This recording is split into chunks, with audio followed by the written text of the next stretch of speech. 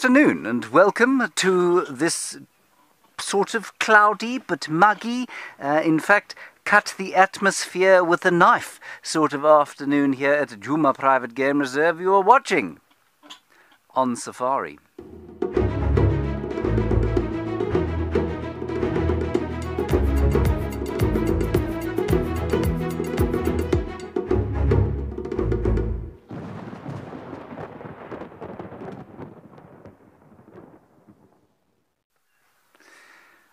Well, you are, like I say, you're watching On Safari, which is our little highlights show that shows you the highlights of the last 24 hours, of which there seem to have been only four.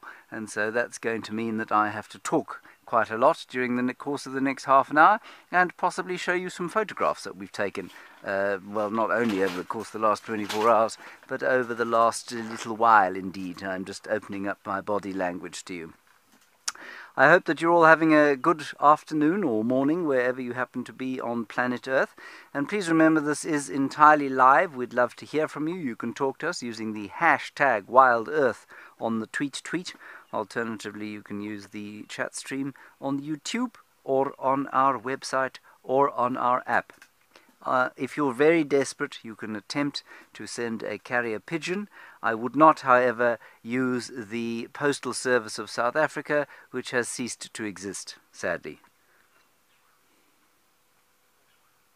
That was a moment of silence for the death of the post office. Okay, um, we seem to have a few audio issues at the moment with our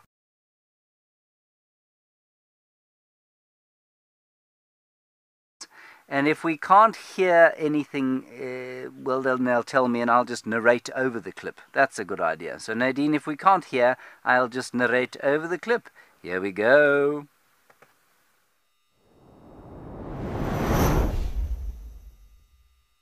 Uh, yes, wow, wow, wow. We have located on two beautiful rhinos.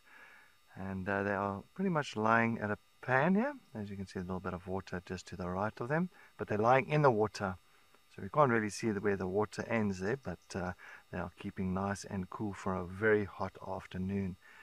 So one that's closest to us is a older female, quite an old female, and then the one that's situated at the back end is a young female. So both females. Oh, look, look, she's going to get up. She's Yes, looks like the young female just got up. I wonder if she's going to go maybe a little bit further into the water for to cool down a little bit more of her body because I don't think she's really kind of getting the entire body wet. Come on. Yes, you can do it. She's looking. She's like, mm, should I go a little bit deeper there? Shouldn't I?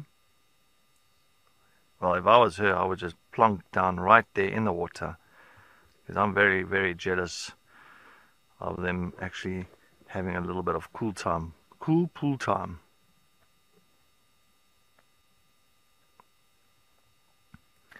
Unfortunately, rhinos cannot go into really deep water because they can't lift their heads up, uh, so they will actually drown. So, because you can see the head is pretty much slanted downwards.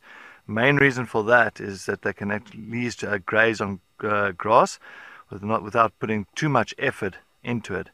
So the heads are very held down very, very low. And uh, if you go into too much water or too deep water, it becomes a problem.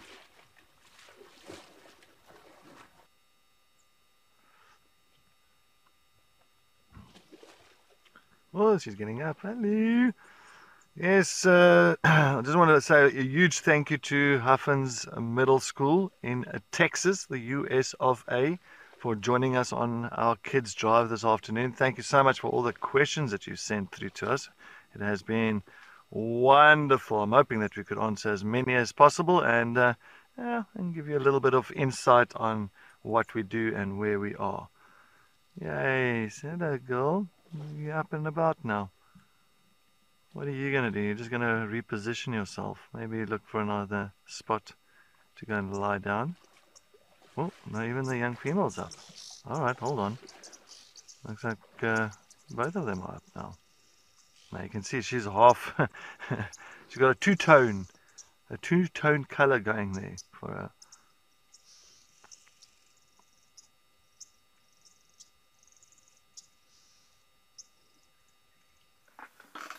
Now, with any luck, that rhinoceros female should in fact be pregnant, the little one. That was the one we saw mating about, I can't even remember when it was. It must have been about eight weeks ago, eight to ten weeks ago, I guess.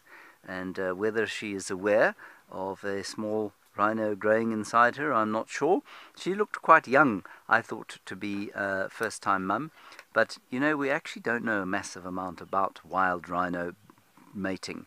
And so it's possible um, that she is pregnant, and it's possible that um, she isn't, and that you know that mating was a sort of failed attempt.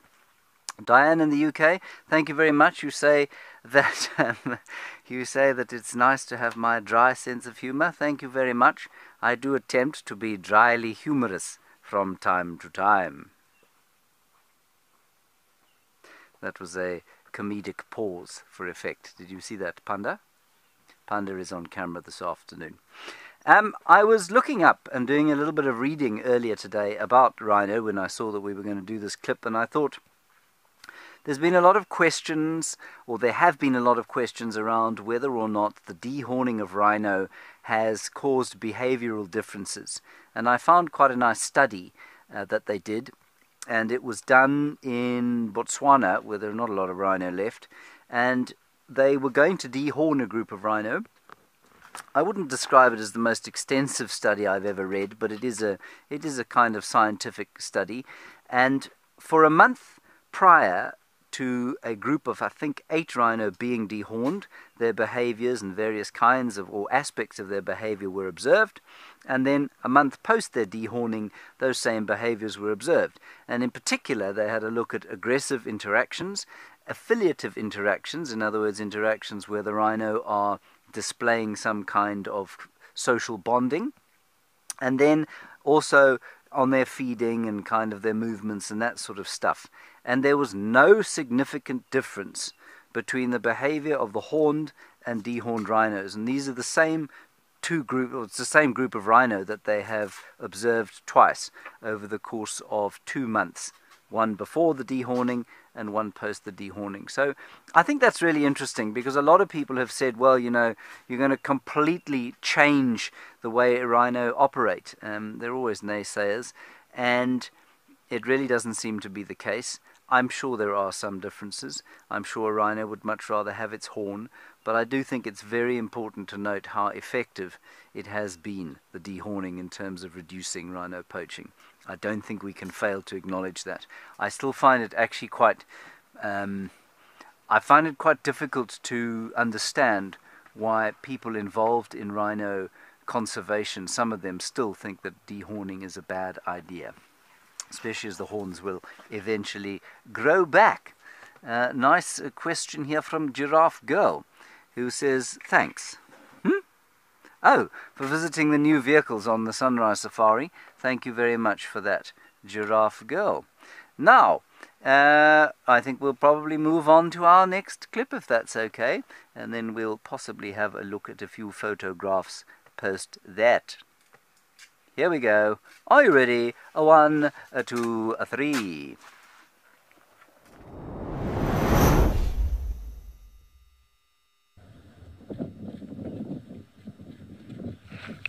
Thank you, thank you, Chad. Uh, we are sitting here with a black-headed heron. A pretty cool bird, but also ferocious one. I'm waiting for him to do his little dance. I suspect he's hunting. He's found himself outside the midden of a possible mouse field mice, and you see how he's moving his neck like that? Because obviously the wind is blowing, and if he stands still, then whatever it is that he's stalking will notice that he's not moving anymore. Look at him doing this little wiggle. Ah, almost like a, a mantis. Um, sorry, not a mantis, a mantid. Almost like a mantid in the wind. Uh, chameleons also do this. Now, when I say they're ferocious, I mean, he'll gobble up a mouse, no problem.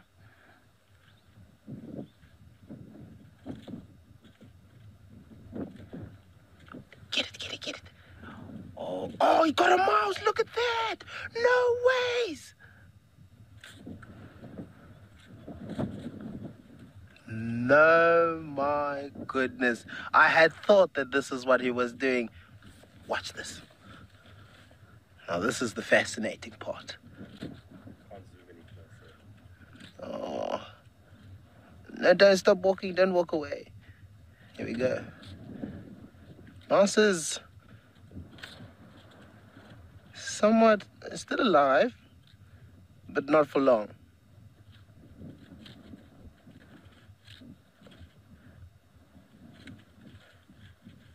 Ah. Uh, my apologies. It's a radio. Oh my goodness. Gone. He's got a little bulge in his neck. you need to wash that down with some water. Well done.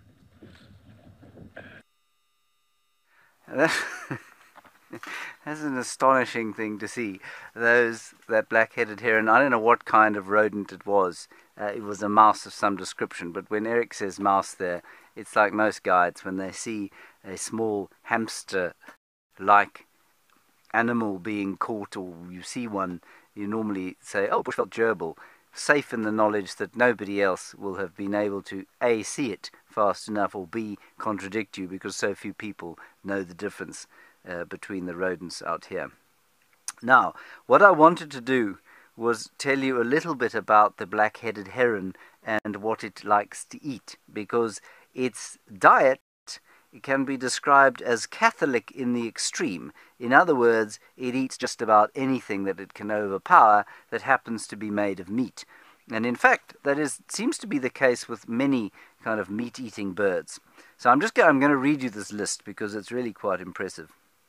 In the Eastern Cape, which is obviously from there, uh, the food was identified from pellets, so rather like um, owls, they cough up indigestible stuff, and that's you can quite easily identify. Well, you can relatively easily identify what they eat from those pellets, and they have included this in one season: earthworms, beetle larvae, scorpion, centipede, river frog, agama, Cape legless skink, giant legless skink, Cape skinks, nestling bird, eight unidentified, eight common mole rats, one vlei rat, one mouse, and one shrew.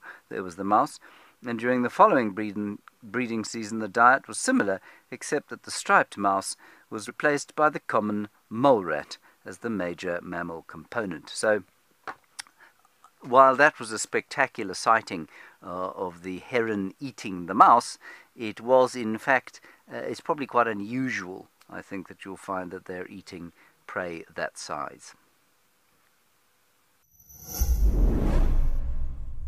If you are a driven nature enthusiast with a background in communications, then this message is for you. Wild Earth is calling for volunteers to moderate our web and social media chat platforms during our live broadcast. Do you keep up with the latest trends on social media? Do you have quick fingers and a sharp eye? Then we're looking for you. To apply, email your CV to us at jobs at wildearth.tv. Join the Wild Earth team today. Wild Earth, connecting with nature.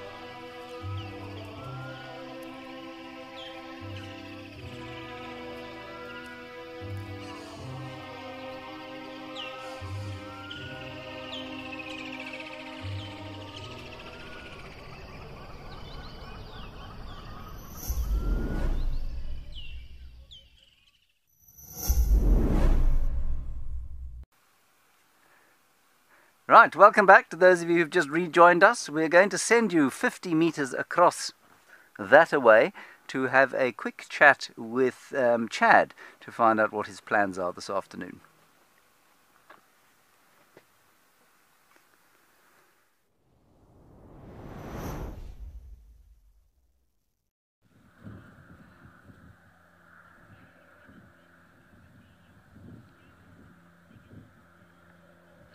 Hello, hello everybody, and welcome, welcome back to Amakhala Private Game Reserve. You're here with myself, Eric, your naturalist this afternoon.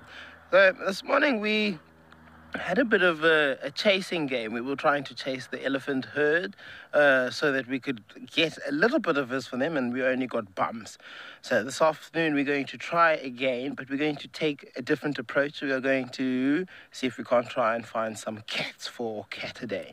So the plan is to go and see if we can't see if the three amigos are around and ready to be seen. And if not, then we will quickly pop across to the main reserve where the lions are and see if maybe the lions are about. Other than that, if we can't find the lions, there's always elephants, there's rhinos, there's giraffe, there's plains game. We will definitely try and find something. So I look forward to seeing you this afternoon. And uh, well, we see you out there.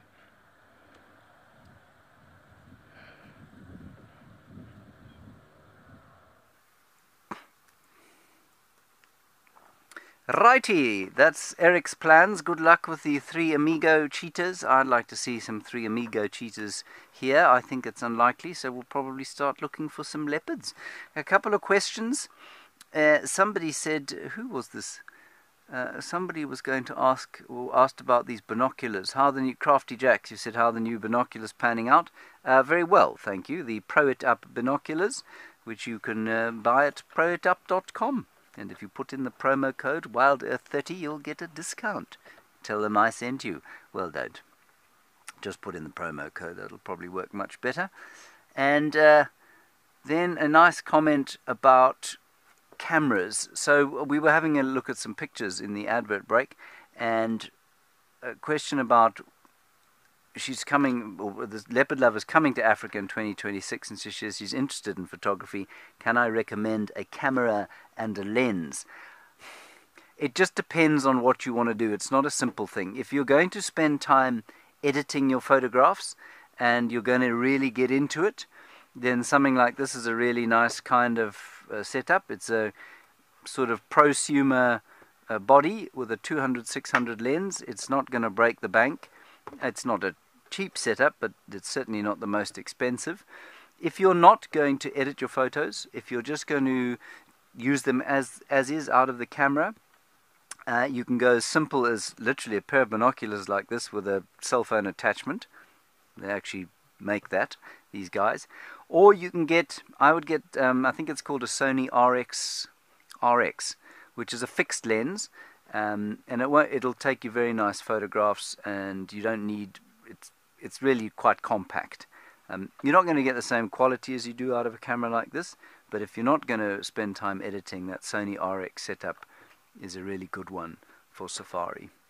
Okay, let's move on to another clip. I think we're going to move straight to the Dewey the Hippo clip because I want to show you a picture that I took of him earlier. And uh, let me just...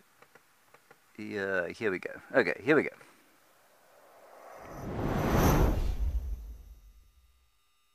Can you believe it? Look at that panda. It's Dewey the hippo. He's got a stick and he's playing with it. How wonderful.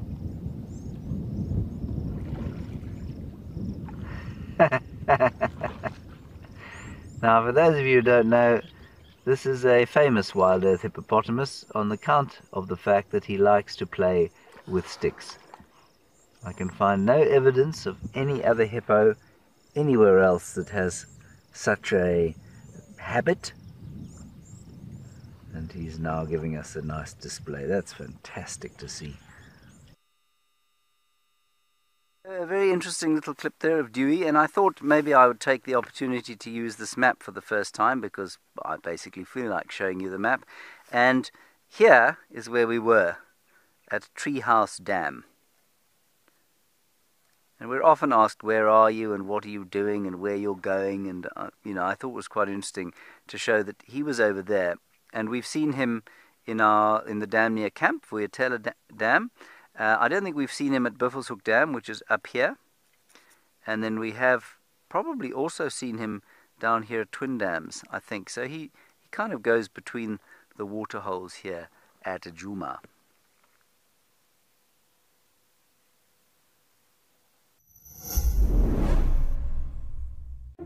Oh, how time flies when you're having fun.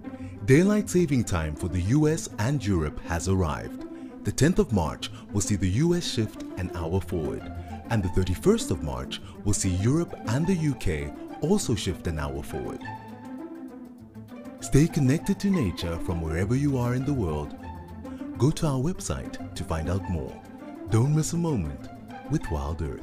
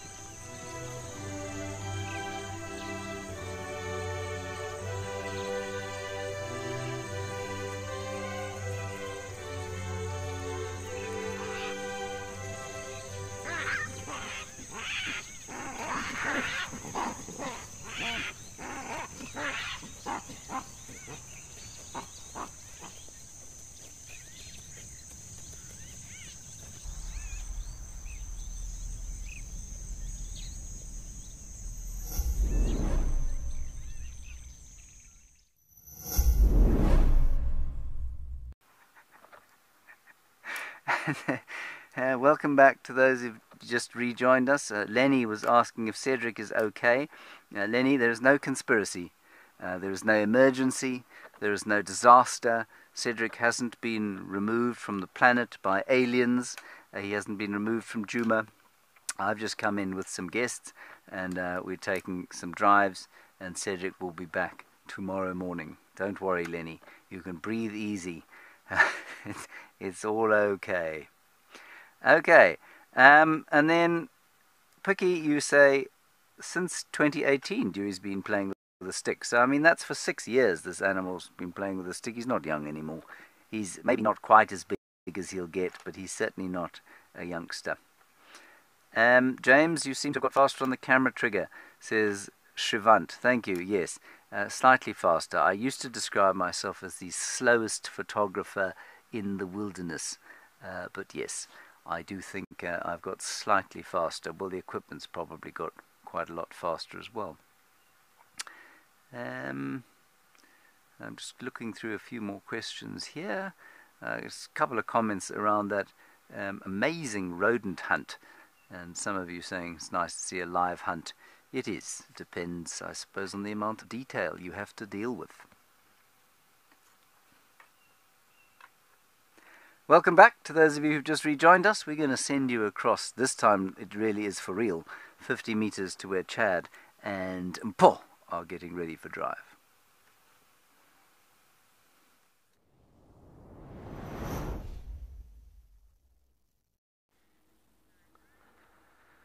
Welcome, everybody. Um, thanks very much, James. And this afternoon, we're going to be out and about in Wendy with myself, Chad, and Paul on camera. And our plan this afternoon is to see if we can find any of those elusive cats. I'm not going to say the word just because the last couple of days I have said that word and we haven't had any luck. But this afternoon it is quite overcast here on Djuma, so I am hoping that there'll be a little bit of movement with those animals. We'll spend a lot of time down in the southern parts of Djuma and see what we can find. But also James is going to be out also a little bit later, so the more the merrier and hopefully we are able to track down one of those elusive cats successfully.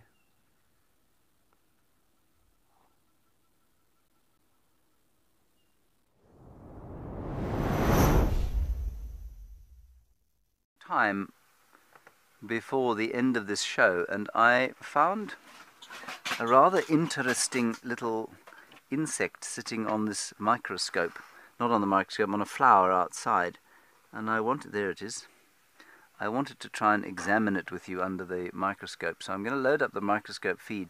Luyanda, I wouldn't go immediately to the microscope feed because I may make a mess of it.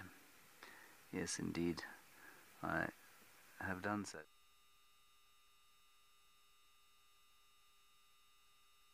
Now, and there you can see a little beetle burrowing in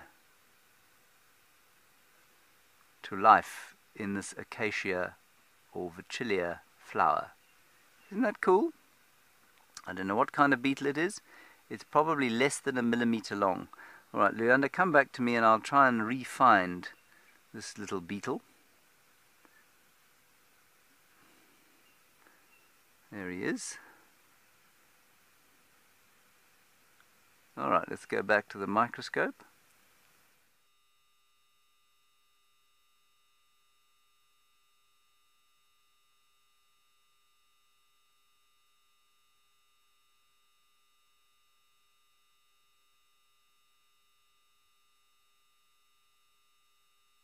and in such amazing detail. Yeah, that little beetle is less than a millimeter long. Absolutely astounding. All right, let's come back to me, and we'll have a take a question from Sandy Franklin. Do you have guests at your camp, or is it a base camp for the show only? No, Sandy, it's just for it's just for the show. We have some guests who are um, to do with the show, if you like, uh, visiting us here. Um, James, can we cross to the cam ops from time to time. Good to mix it up. Um, Leopard Lover, it's very difficult to cross to the cam ops because there are no cameras on them. But that's certainly the purpose of the dash cam. When eventually we get it sorted out properly, you'll be able to see uh, Panda and Mpho and the other cam ops. Uh, Gerrit even. He will definitely fill the frame when we get the dash cam going. Uh, so far, all of the cam, cam ops have actually showed a great enthusiasm for being on camera, which is which is nice. I have known camera operators who refuse point blank to be on camera, but Panda has worked so hard on his fashion, on his uh, physique in the gym, uh, on his hair since he was born, and uh, you know it would be a pity for the world not to be exposed to the delights that he brings. All right, I'm going to get ready for drive now. We're going to try and find a leopard, as is always my, my goal. We'll see you out there in the field. Thank you for joining us for On Safari. Bye-bye.